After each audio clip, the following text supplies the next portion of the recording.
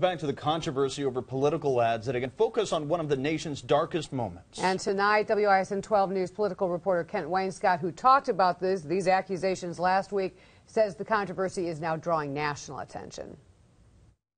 Tommy Thompson's ad is a disgrace. The latest attack ads in the Tammy Baldwin Tommy Thompson race involve actual attacks, the 9 11 terrorist attacks. Tammy Baldwin had the opportunity to vote to honor the victims of 9 11, and she voted against it. Thompson's ad blasts Baldwin for voting against a 2006 bill commemorating the fifth anniversary of 9 11. It's an issue he first raised during a news conference last week. For the victims and for all of those individuals, I apologize uh, for Tammy Baldwin's vote on that particular resolution. Baldwin quickly responded that her vote was not against honoring the 9 11 victims, but against other items attached to that bill, which she said were partisan, adding that she's voted to support 9 11 victims and first responders nine times. But now competing campaign ads have put the tragedy back into the political spotlight, with Thompson accusing Baldwin of disregard for the victims. It's a slap in the face to every one of their families. And Baldwin alleging Thompson made millions after leaving Washington through a company her campaign says failed to adequately provide promised health care to 9 11 first responders.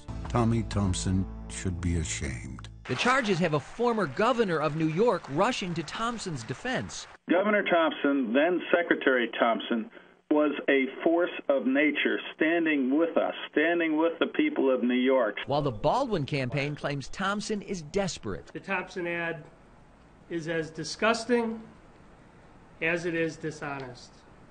Both campaigns also getting support from first responders right here. The Milwaukee Firefighters Union standing with Thompson, the State Firefighters Union backing Baldwin. Neither candidate was available to talk with us today, but this ad battle is getting national attention in several outlets. Some analysts suggesting that depending on how it plays out over the next several days, it could have an impact on this race. All right, we will see right. in 13 days. All right, thanks, Kent. Sure.